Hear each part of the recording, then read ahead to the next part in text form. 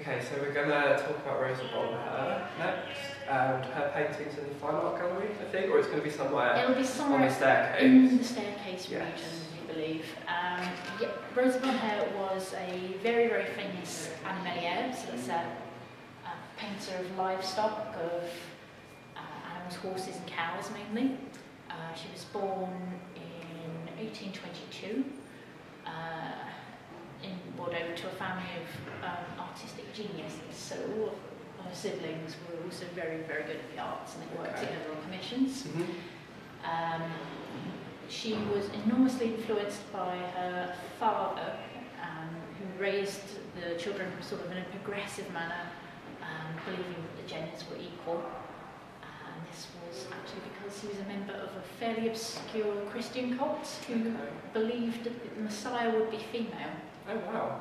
Um, And that would have been a, a very unusual, um, very, very unusual. at the time, yeah, at to the believe time. that men and women were equal would have been very.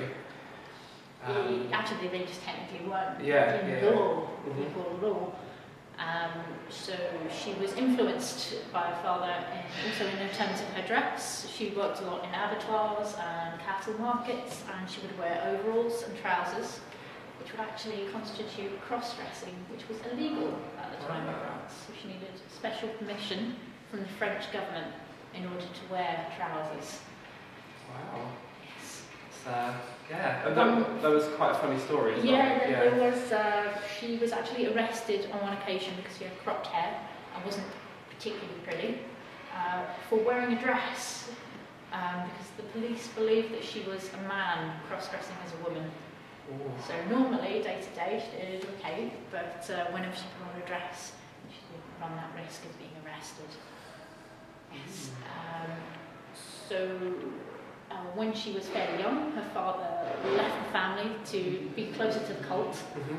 Uh, her mother died, and she was actually raised by uh, friends in the family, and it was their daughter, Nathalie Micas, who was to become her companion uh, for around 50 years. So they, Oh, they wow. lived together just outside of Paris, Uh, and she actually helped her with the painting.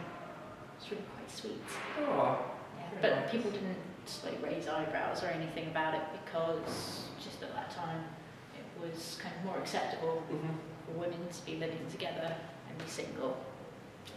Mm. Yeah.